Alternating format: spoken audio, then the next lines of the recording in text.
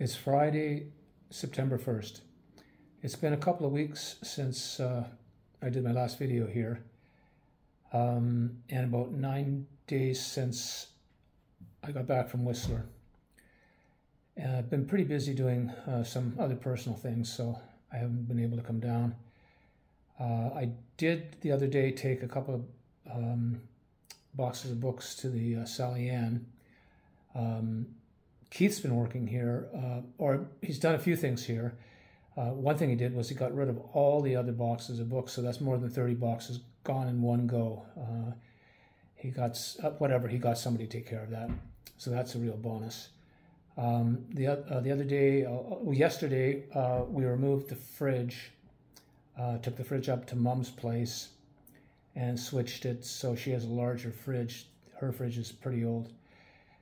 Uh, I don't think it's worth anything actually. But um, anyway, that took a long time. That took unbelievably about five hours. But uh, we'll probably well we'll put one hour on because we are getting the fridge up there. So we'll only get one hour to get it out of here. It was a chore to get out. And uh, today uh, I have to uh, clean up the mess here that was uh, left after the move. And pretty well that's all I'll be doing today here. So just a really quick video to deal with what I'm going to do today. Um, yeah, it was a real chore getting that fridge out of, out of here, down these stairs and everything.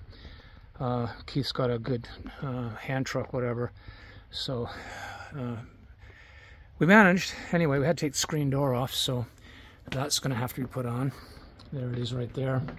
So I'm going to put that on in a few minutes.